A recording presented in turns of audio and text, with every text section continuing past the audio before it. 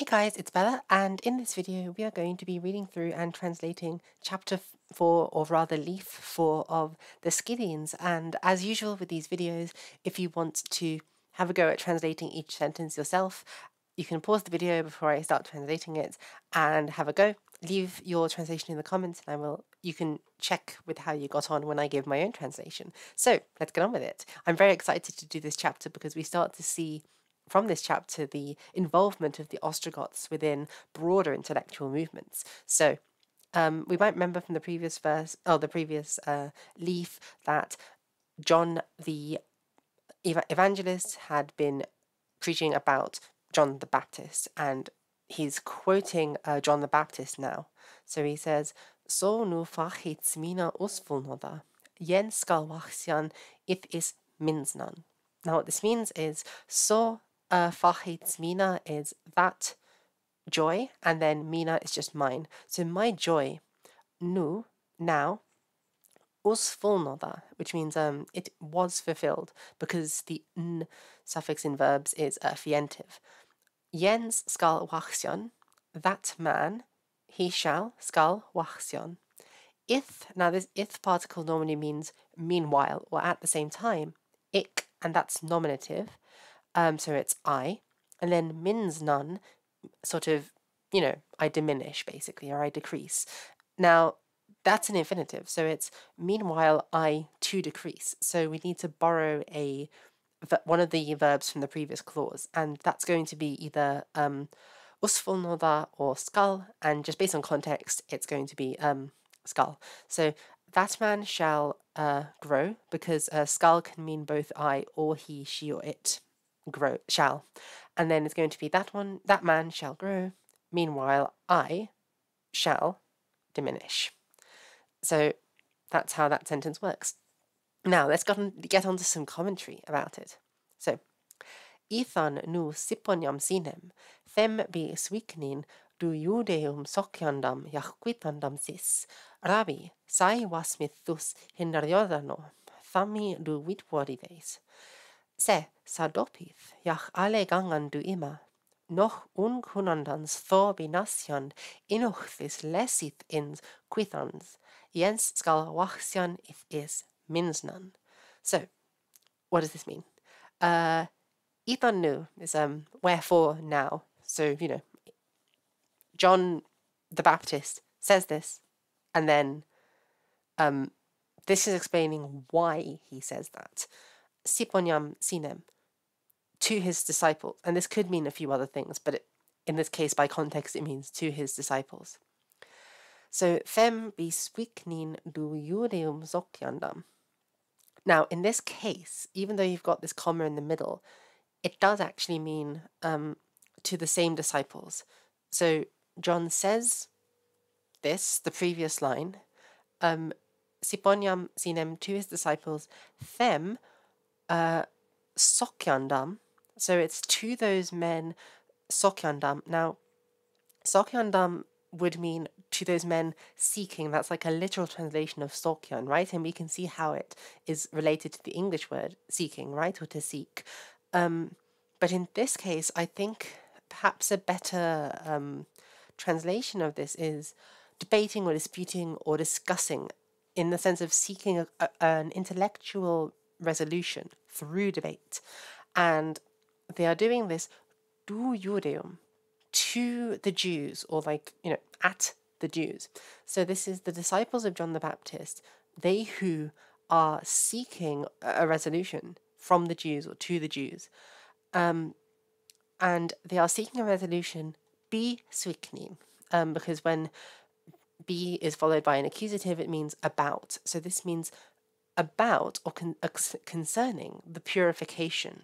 And this is the purification, the precise rituals uh, for purifying individuals, which, as we saw in verse or leaf three of the Skeireins, we saw that the commentary is talking about how in the Gospel of John it tells how there was a dispute among the Jews over this matter at this time, uh, especially in regards to the kinds of ablutions they had to do and what baptism did.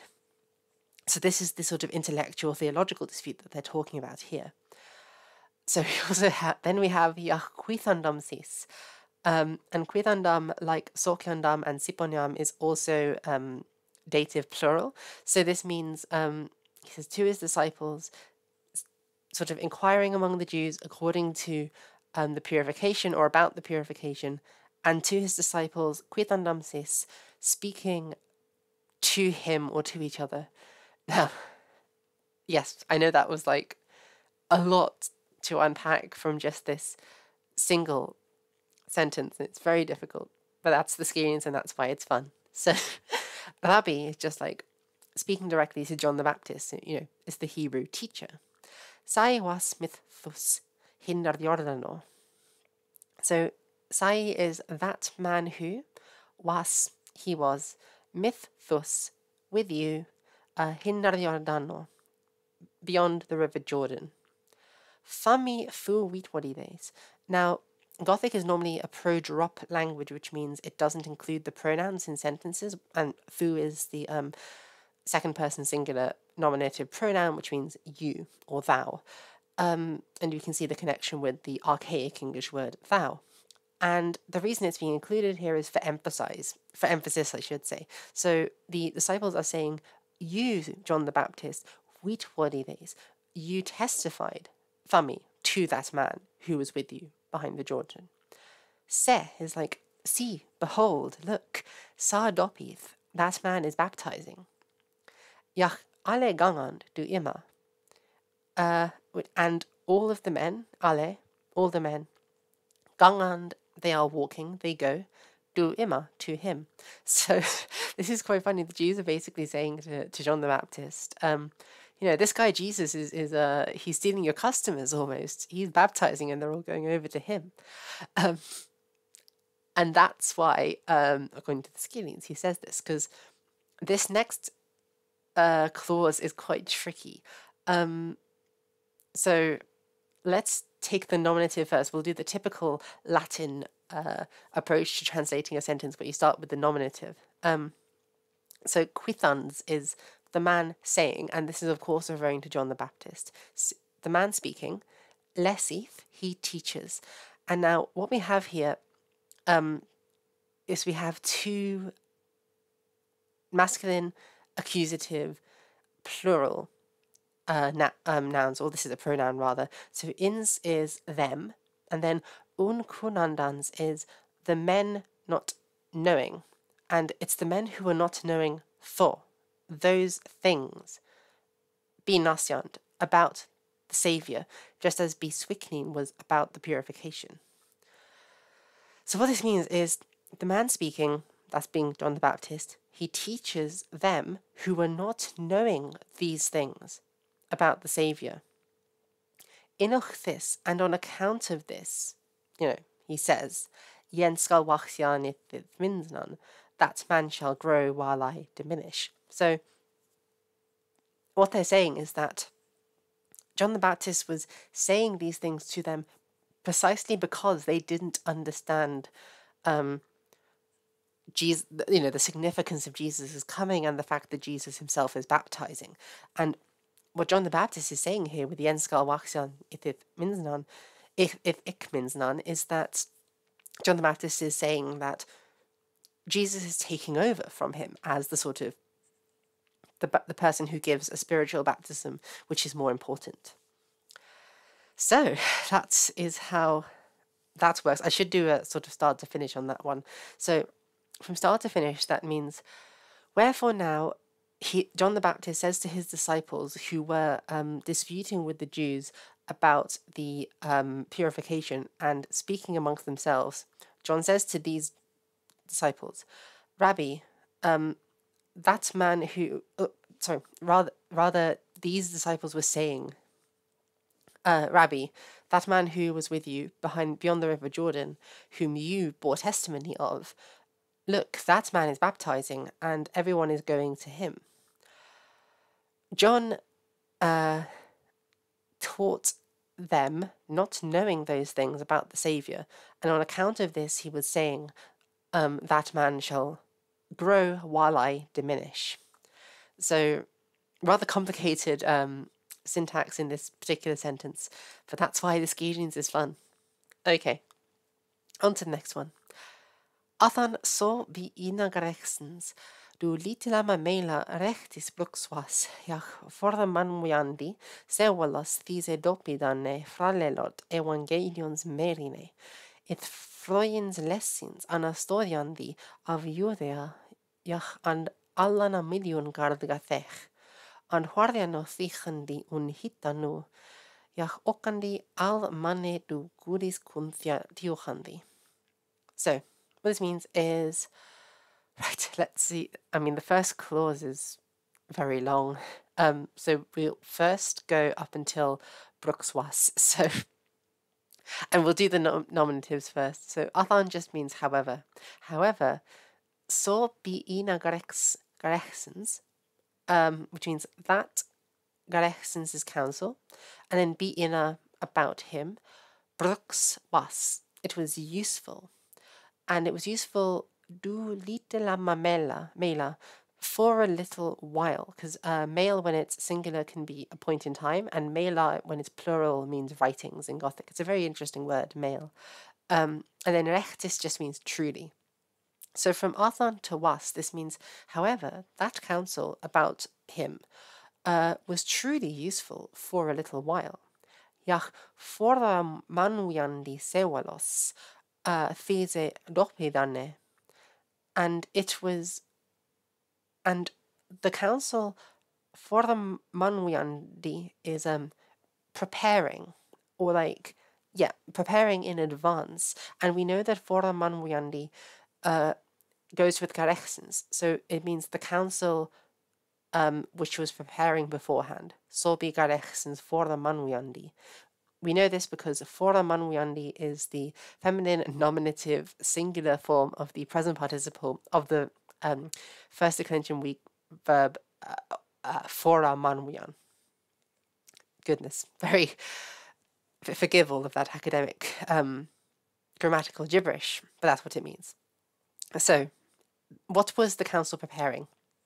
Sewalos these dopidane, the souls of these baptized men. So these are the men, of course, whom John the Baptist himself was baptizing. Fralelot, which means it released. Evangelions merine. Um, in the preaching of the Gospels. So this is sort of doing double meaning. So the um was foraman means it is preparing. Yes, I don't know. I, no, I'm um. Hang Yeah, so there's two different interpretations of that line. So was foraman wiandi sewalos can mean it was preparing those souls, merine evangelions, in the preaching of the gospel. Um, and there's also this verb uh, which me- means you know he released, and it can mean it released those souls and then we could also interpret merine meaning to. So it released those souls towards the preaching, evangelions, of the gospel. Because if John the Baptist is saying that Jesus will grow as a, as a Baptist, as a preacher, while I shall diminish, it's it's preparing those souls that John the Baptist has baptized, these dopidane, those men who have been baptized. It's preparing those souls to receive the gospel and in a way, it's also in preaching of the gospel because John the Baptist himself is quoting scripture and he is um, sort of ironically part of the gospel message. So, this first clause, um, from Athan all the way to uh, Merine, it's rather complicated and they could have a couple of different interpretations.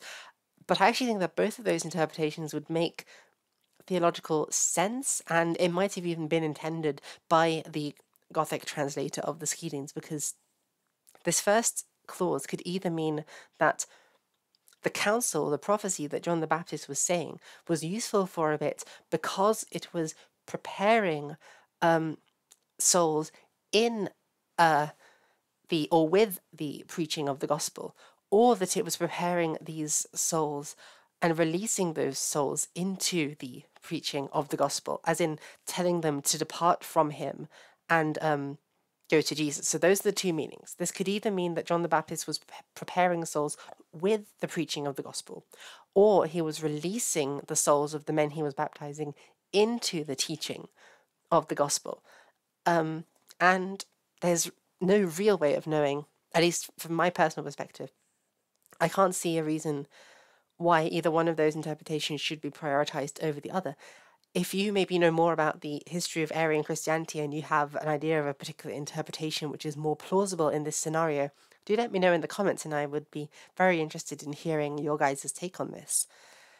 So, moving on to the next one, look at all of that meaning that we've packed into a single sentence of the Gothic. It's it's amazing. Um, it freins lessons anastoriandi of Judea and alana midion gargatech. So, um, like I said before, it means meanwhile. And then let's do the nominative first. Lessons anastoriandi. Um, now, anastoriandi, um, you may notice it's got the yandi ending, same as for a Um, but in this case, it doesn't describe garexens, this um, word anastoriandi, which means the one that is beginning. It actually goes with lessons because it's a new clause. That's what that marker helps us to identify. So, um, so meanwhile, lessons anastoriandi. The um, is teaching, and it's the teaching which was beginning um, of the Lord, Freud's. Um, so we could we could trans this translate this rather as the incipient um, teaching or the um, the nascent uh, teaching of the Lord. This is one of those things where a translation would imply that it's an adjective when it's actually um, a present participle. So that's why we need to look at the original Gothic. So um, it is big. It is beginning this teaching of the Lord of Judea from Judea, Yach and Alana Midiongard, and unto the whole Midiongard. This is one of my favorite words in the Gothic language. Uh, Midiongard is um, you know, it's similar as a Middle Erde and um, Midion Midgarda in um Old Norse. It's um Middle Earth basically is what we have and this is basically the Gothic word for the world, the human world of, of humans, terrestrial humans. Now, this verb is gathech, which means it prospered. So, what this means from ith all the way to gathech is meanwhile, so while um, this council was preparing the souls, um, the Lord's, the incipient teaching of the Lord um, prospered from Judea and Alana Midgard unto all of Middle Earth. So, what this is saying is that while John the Baptist was preparing these souls, Jesus's um, teaching was prospering, starting out in Judea, and it would then spread through the whole of Middle Earth. And Huariano, Thichandi, und Hitanu. So Let's do the nominative first. So fichandi, you can probably see the andi ending means it's a it's a present participle, feminine nominative, singular, just like um, anastoriandi and foramanmuandi, and this means prospering. So, and because there's actually no verb in the sentence, uh, we have an implied wisan, and because fichandi is also feminine nominative, singular, um, present participle, this means that it goes with the last singular nominative feminine noun in the uh, previous clause, which is lessons. So this means the teaching, thichandi, was prospering. And that's the implied wisan, the was. So the teaching of the Lord was prospering, thichandi, and huariano. Um, basically, unto everyone, unto each man. Now, I think this actually means unto every land, and the word land is implied because huariano is, um, goodness, it is accusative neuter singular of the, um, I don't know what the determiner, um, huarius, and that therefore means that it could go with land because land would also be uh, neuter singular accusative. And so therefore I think that land is implied and also it would make a lot of sense, you know, in every land. Uh prospering in every land, unhitanu, up until now even. Um, by the way, that Hitta form is actually relatively rare. We see it in Himadaga, for instance, but it's actually quite uncommon in the Gothic language. So that's interesting that we see it in the accusative form. So, Yah Orkandi, which means um, and it was growing, it was increasing. And likewise, same thing here. Orkandi is a feminine nominative um, pre singular present participle of the verb orkan. So it goes with lessons. So the teaching was increasing. Al mane, um, the whole of men, all of the men, all of mankind, do godis kuntya towards God's knowledge or to knowledge of God, tiuhandi. And again, that's a feminine nominative um, singular present participle of the verb tiuchan, which means it goes with lessons. So the teaching was leading all of the men to knowledge of God. So we got Gothic loves making use of these um, present participles, and we have um, one, two, three, four, five present participles, and they are all referring to the same thing. Hang on, no, they're not all. Sorry, referring to the same thing these three, Anastodiandi, Thichandi, Okandi, and Tiochandi, sorry, those four are referring to the Lessons Freudians. They're referring to Jesus' teaching. Whereas uh, the Fora Manwiandi is referring to the Garechsens, which is John the Baptist's prophesying. so, very complicated stuff. Um, and I, what I will do, I'll translate this now from start to finish, from Athan all the way to Tiuchandi. So, what this means is, however, that counsel about him was truly useful for a little while, and it was preparing the souls of these men who had been baptized. Um, and sorry, and preparing the souls of these men who had been baptized, it released them into the preaching of the gospel. Meanwhile, the Lord's teaching starting from Judea, uh, prospered also into all of Middle Earth and prospering in every land up until the present day. Growing also, it was leading the entirety of mankind, all of the men, towards knowledge of God. That's, yeah.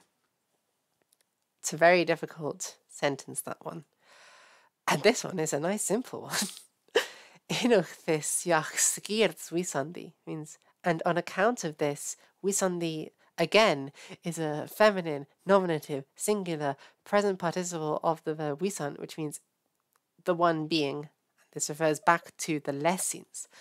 And because there's no verb in the sentence, we insert an implied wisan, which means, well, it's already wisan, but um, you know, in terms of when we translate it into English, this means um,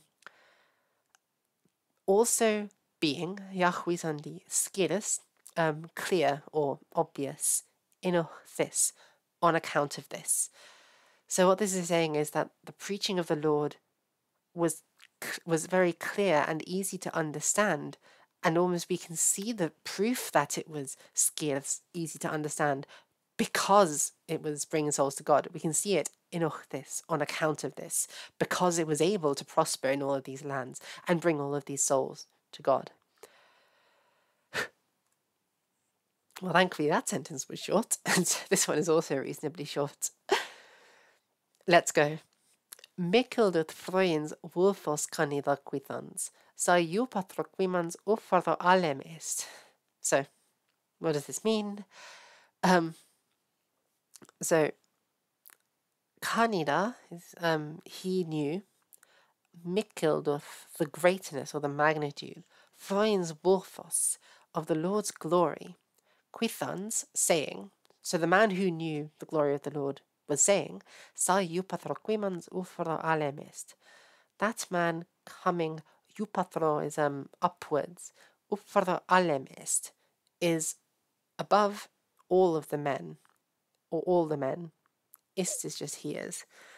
So, what this is saying is that um, Jesus is Lord of all men, and it's John the Baptist who is saying this. Right, let's get on to another one. This is going to be tricky. I have a feeling. Ní thati ufarða wisandan swarde kandidaidi. Ach jach swallowda is mikkeldu tes macht insok jach himina kundana jach juppatra kummananna quittans. Ith sik erthakundana jach us erthi rodiandan ich in thisi wiste manna was. Jathe wix jathe prophetus quid visans jach garechtin witwodians, agi us erthe was jach us wardache wiste rodians. So, what does this mean?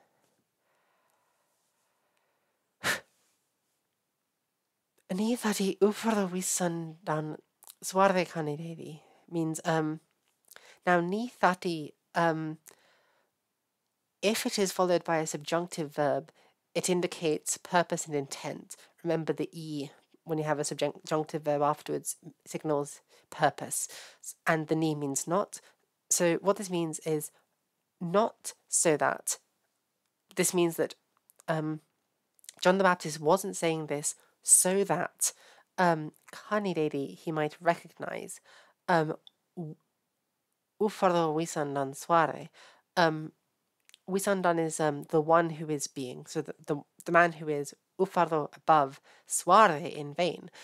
And what this is saying is John didn't say that Jesus is above all men and he didn't say um, that man will grow while I diminish. The reason he was saying these things is not suare, it's not in vain. Ac iach swalloda is uh, mikild ma insok, um, but also um, that man being so great, swalloda, um, being so great, mikild macht insok. He um, now insok insakan is an interesting uh, verb, and it basically means to seek or to prove by argumentation.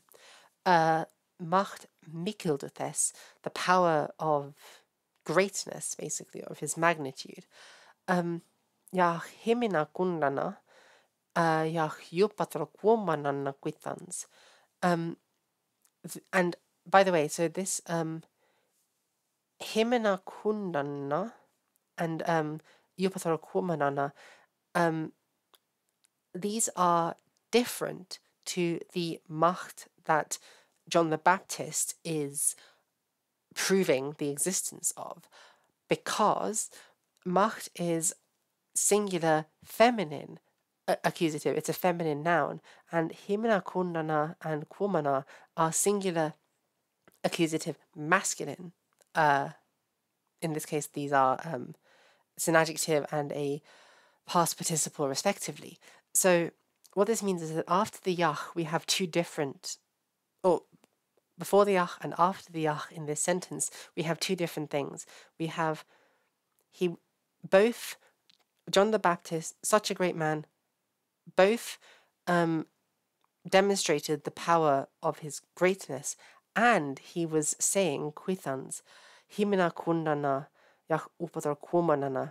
and with those two, we have an implied um, wisan as well to be, and that then makes it an accusative infinitive construction. So what this means is um, he was saying that because the accusative infinitive construction means that um, himena kundana, the um, heaven kind or the sort of heavenly man,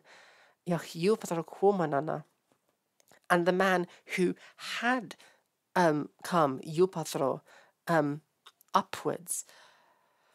So, and this is also quite interesting because from the perspective of John the Baptist, this hasn't yet happened, but obviously from the perspective of the writer of the Skeireins, um, Jesus has come above.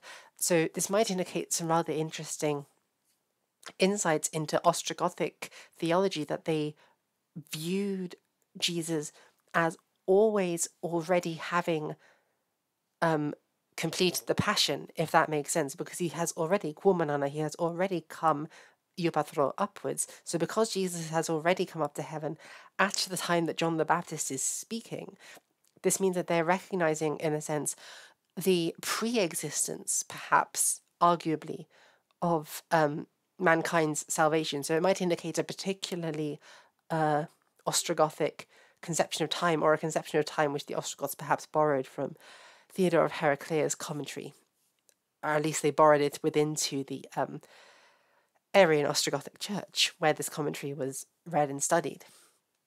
So, very complicated stuff. And we've got another if, which of course means um, meanwhile. So, if sic erthakundana jahus erthe radiandan. So, this is complicated, but it means um, they're compa- they're contrasting Jesus and John the Baptist here, and the grammar of the Gothic here is actually quite interesting as well because they, they use it very uh, well to show the contrast between them. You might even be able to notice it because in this um, gloss they just happen to be right under each other. Um, so Jesus is described as himina kundana, heavenly kind or heavenly, and then Sikh is um, himself. It's reflective. So this is John the Baptist talking about himself, and how does he describe himself? He's quitans about himself.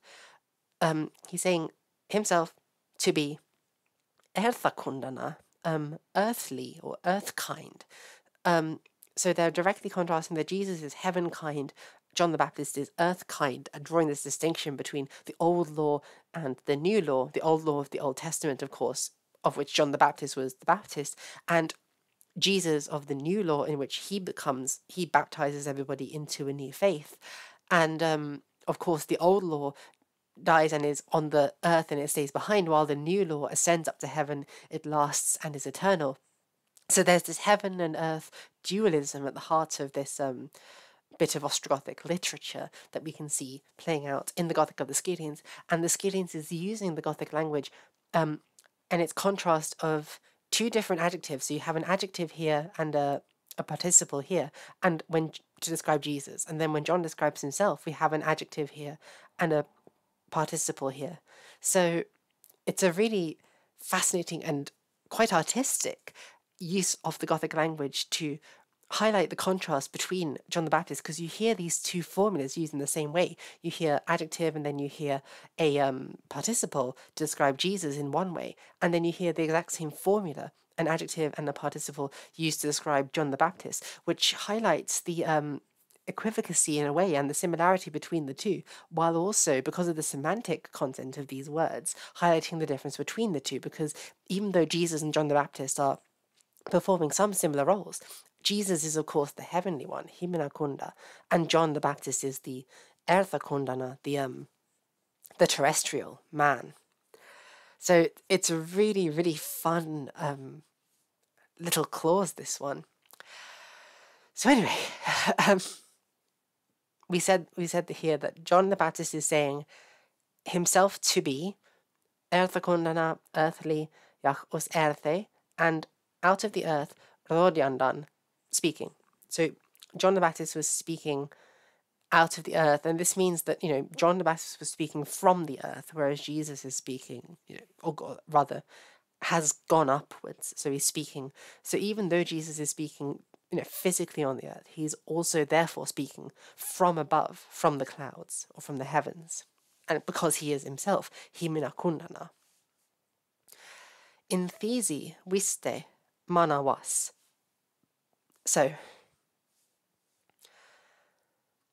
on account of which, Wiste, um, in existence, Mana was. Um, he was a man in existence. Um, and this, I'm fairly sure, is referring to John the Baptist because of what it says next. Uh, Yathe wichs, Yathe prophetus wisans, um, Yach garechtin witwodians. So, and also that probably should be garechtin should be um should be blue because it should be dative because uh, Witwodian takes a dative as its object, and garechtin can be both dative and accusative. So, what this means is John the Baptist was um, Yathe Wix, Yathe Prophetus means he was both holy and a prophet. Wisans is being. And it takes the verb from the previous uh, clause, which was was. So John the Baptist was being both holy and a prophet. Yach and Gerechtin Witwadians, and he was um, testifying Witwadians to righteousness, Gerechtin. Aki, however, was erthe was, he was from the earth, as we saw above. Yach us wardache wiste, Rodians. Now, this is a very interesting word and phrasing. And um, Rodians, you know, he was speaking us wardache wiste, out of a verbal existence, us wardache wiste. Now, there is there are some elements within Christianity, traditions in later centuries of Christianity which emphasize silence as a form of heavenly existence, drawing on certain passages from the Bible, which I cannot off the top of my head remember. But this is why in medieval monasteries, starting with the rule of Benedict in the um, 6th century and going back later, sorry, and um, going down later into history, you have uh, monastic orders which held to silence either for the whole of the day or through certain parts of the day, like while they were eating. And um, the Cluniacs went so far that they had to develop sign language in order to communicate with each other and get basic tasks done. And the logic for it in those later medieval monastic communities was that silence was the condition or the state of heaven. They wouldn't use words to speak, they would just sort of communicate and, and, and be in oneness, so there would always be no need for communication. So the fact that uh, John the Baptist's wisps his existence is described as wardache, um, which is sort of verbal, even though both him and Jesus are using words, right? Um, and in fact, John the Baptist himself even says that um, he, um, you know, in the beginning was the Word, the Word was with God, um, and God was the Word. Um, so I'm trying, I'm trying to figure out a way to put this, but it's almost like John the Baptist speaking was wiste. John the Baptist can only speak with words, and when John the Baptist is speaking, it is only a terrestrial, an erthakund, um, verbal preaching. Whereas because Jesus is already kumanana, he has already ascended upwards into heaven. The, the the things that he says are not in this um, commentary according to the Skeireins, they're not verbal communication because Jesus is already speaking from heaven where there is silence. There's silence in heaven from which Jesus is uh, speaking. So, and preaching, I should say. So, this means in this fascinating kind of theological sense that in a way we can read the Skeireins as saying that Jesus isn't actually speaking, at least not in the same meaning as John the Baptist and, and the rest of us. John the Baptist and humans are speaking because we have to in order to communicate. Whereas Jesus, um, even though he's physically saying words, because the things he is saying is a holy gospel and a sort of message from heaven to which he has already ascended, um, because that is the message of heaven. It is therefore like reflective of the state of heaven and it doesn't qualify as speech because the heavenly state is one of silence. I, d- I think this is a very long tangent and I don't think I've communicated it well or that it makes sense. It's just interesting theological considerations to bear in mind when you're reading the Skeireins. And now I will go from start to finish and read the Ni Thati all the way to Rotherans and tell you what it means. So I need to breathe for a second because I record all of these live as, you know, if any of you are watching this far. Um, so there's an implied, you know, from before, it's saying John the Baptist was saying these things. Ni Thati, uh, sorry, not, sorry, not so that he would recognize the, the man who is being above in vain, but also such a great man argued uh, for the might of his greatness um, and saying that Jesus was heavenly and having come from above. However, John the Baptist was saying that he himself was earthly and speaking from the earth, on account of which, um, in existence or in essence, he was a man or a human.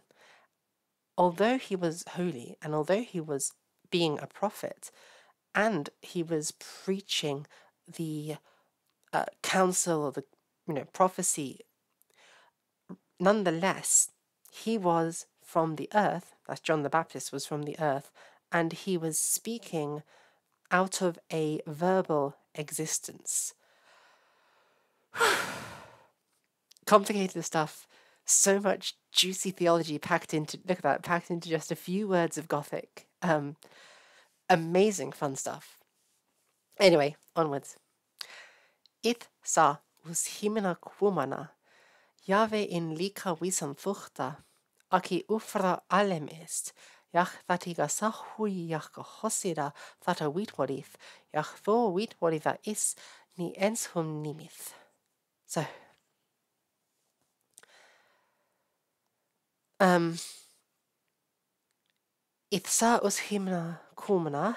Um, meanwhile, that man, Kumana, you know, having come, us himana out of heaven, Yahweh in lika wisan thuchta. Although, uh, so Yahweh normally means if, but in this case, um, well, actually, let's translate it as if, if for now. If even if in lika, in a body, wisan thuchta, he appeared to be. So even if Jesus appeared to be in a body, aki ufra alem est, nonetheless he is ufra alem above all men. Yach fatiga sahu, um, and that which he saw, this is, I'm fairly sure it's John the Baptist, uh, Yachga hosida, thataga hosida, and he heard, thata witwadith, he um, testifies, that about that.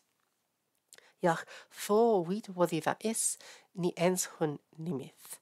Um, and those things which he testified, ni ens hun nimith, nobody takes. That that's literally what nimith means. But in this case, we can see from analogy with um, uh, educational literature in Latin and Greek, such as the Hermeneumata Pseudodositheana, that uh, verbs meaning to take, uh, like acipre or um, uh, JP in Latin, these can mean um, to receive or to understand in the intellectual sense, the, the sense of taking it into your mind. So this is a, seemingly a bit of um, Greco-Roman phraseology that's been borrowed into Gothic.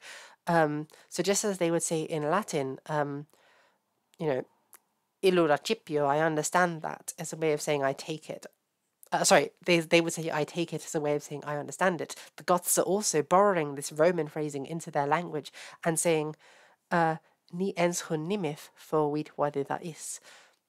Nobody nimith understood, understands for wit those things preached is of him. So what this is saying is that um, John the Baptist is uh, bearing testimony about Jesus um, and saying that even though he is in a in a body, he is still above everyone.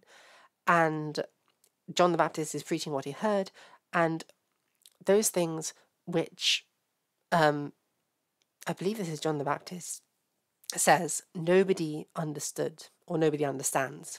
So this is referring to the fact that the Jews in John the Baptist's time didn't understand what he was saying about Jesus being in a body but also above other men. So, on to this next one.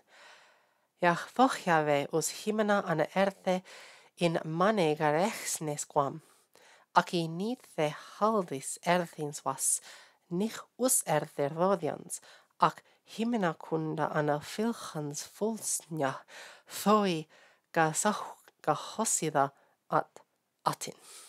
So, complicated stuff let's go into it. So, Yachvoch Yahweh.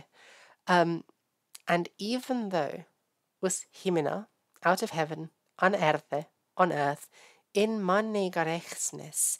Now, um, this in theory could mean two different things because you have in and you have two different genitives coming afterwards, which could um, go with it. In this case, I think it means in gerechnes manne, which would mean on account of the prophecy manne of men.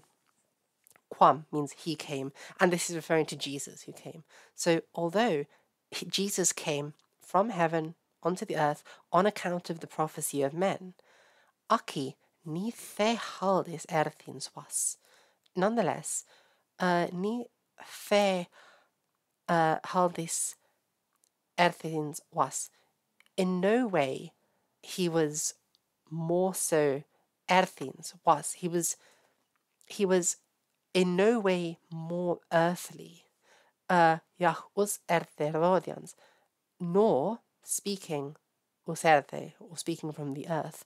Now, what this means is that it is saying that although Jesus physically was speaking, like literally upon the earth, ana erte, he was not us erte, he was not speaking from the earth.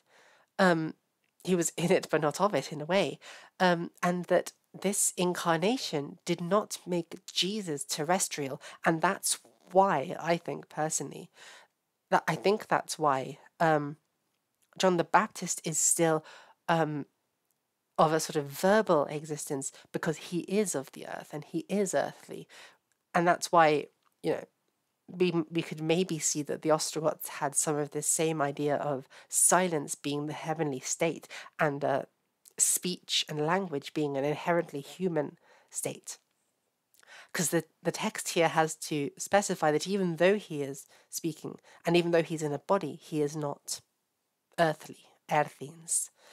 Ak, himena kunda anaphilchans. But anaphilchans is um entrusting or passing down himena kunda, those heavenly things or the heavenly things. F- oh goodness, fulsnya um, is um in secrecy because this is of course referring to the fact that um, John the Baptist is speaking um, in sort of riddles, basically, or rather, um, I think this is Jesus actually who is speaking in sometimes in mysteries, basically. Um, those things which he saw, and thoi is accusative neuter plural of the definite article sa, which means that it goes with himina kunda because himina kunda is also neuter accusative plural.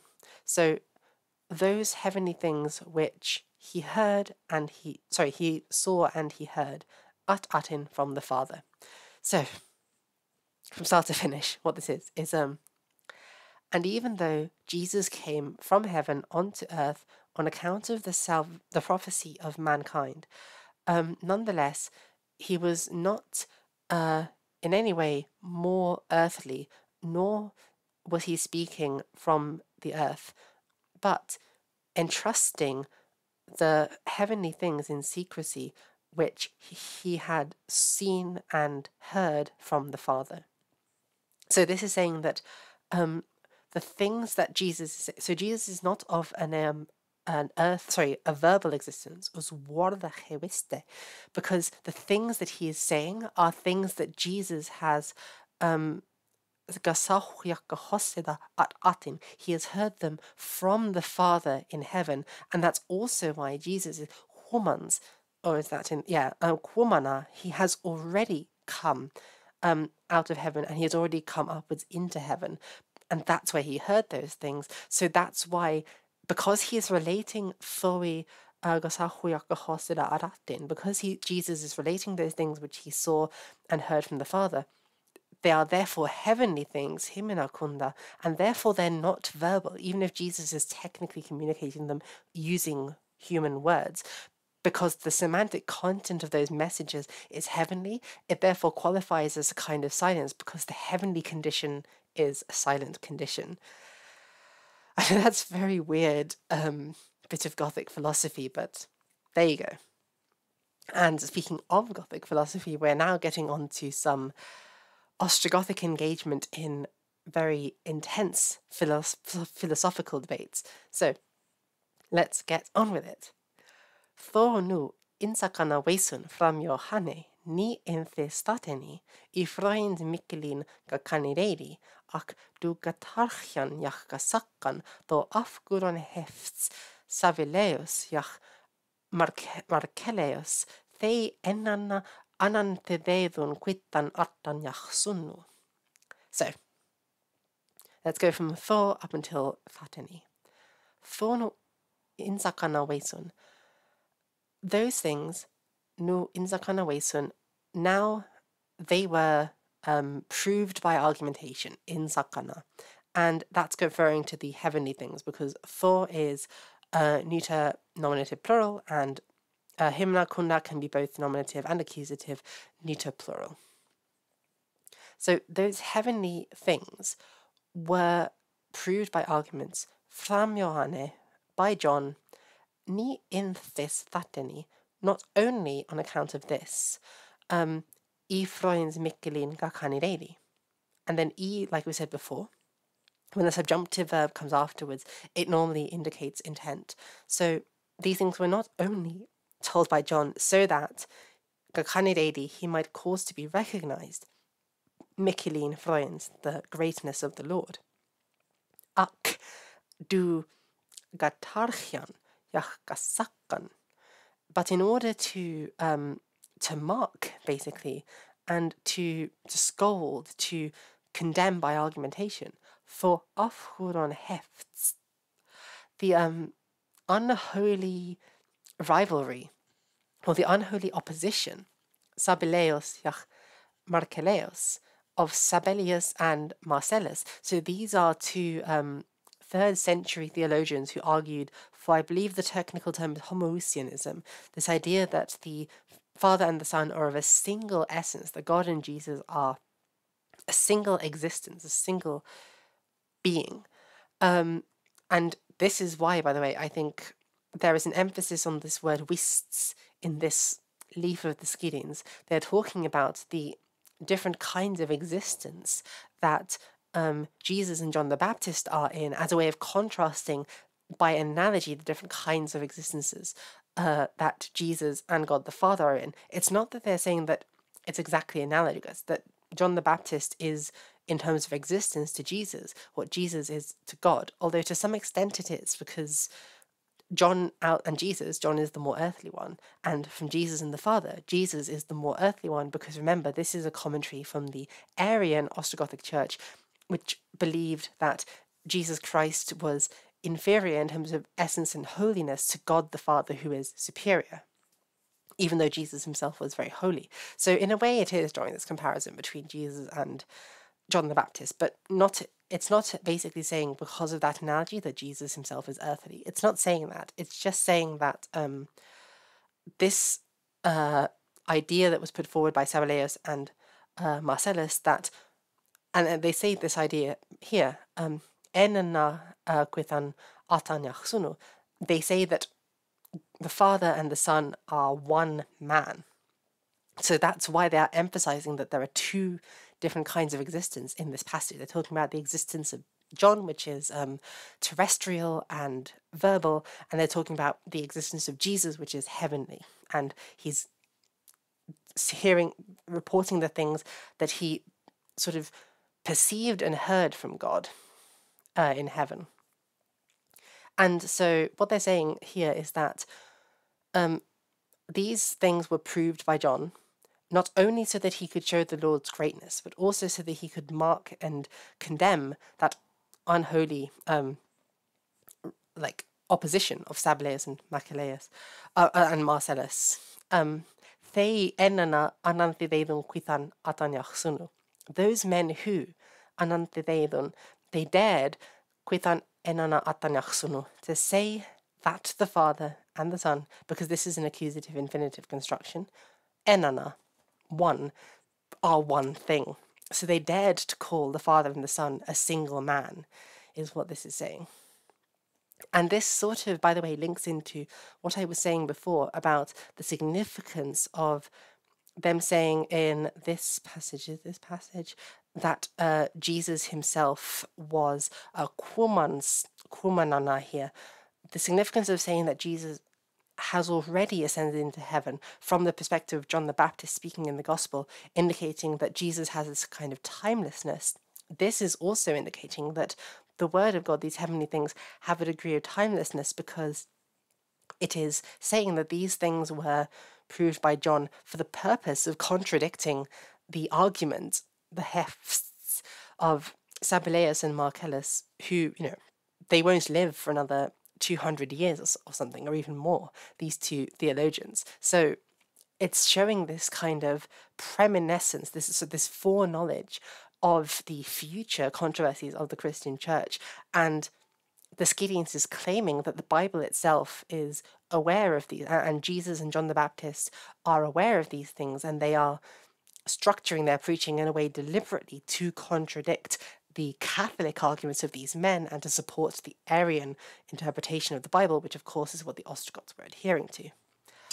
So, from start to, from start to finish, from Thor to Sunu, this means now those things were demonstrated by John not only on account of this, so that he might uh, recognize the greatness of the Lord, but in order to mark and to condemn the unholy argument of Sabellius and Marcellus, those who dared to say that the Father and the Son were one man. So, really dramatic um, theological stuff. And then it just cuts off here in Antar. Meanwhile, that other holy man, perhaps, or that other priest, and then it just um, it trails off. And this might have been about to talk about a different um, perhaps an Arian priest who the writer of the Skeireins quite likes. And that's the end of that leaf, so we'll never know what came next. But god damn, that was some exciting stuff that we got to. We really delved into Ostrogothic um, philosophy and the Ostrogothic worldview here. It was amazing. So, thank you guys so much for watching. I really hope you enjoyed this video and that you've enjoyed the um the Skeireins series thus far. You know, if you want to learn Gothic or any of the other languages that we do on my channel, you can subscribe to my Patreon, which will be linked in the description of this video. You can also join my Discord server, where we sometimes do language lessons and I share resources. I share most of my tidbits before they become videos on there, so you can join and join a community of like-minded people. We're quite fun and friendly. You should come and join us. And like, comment, subscribe, you know the whole deal. And I will see you guys in the next video. Fiu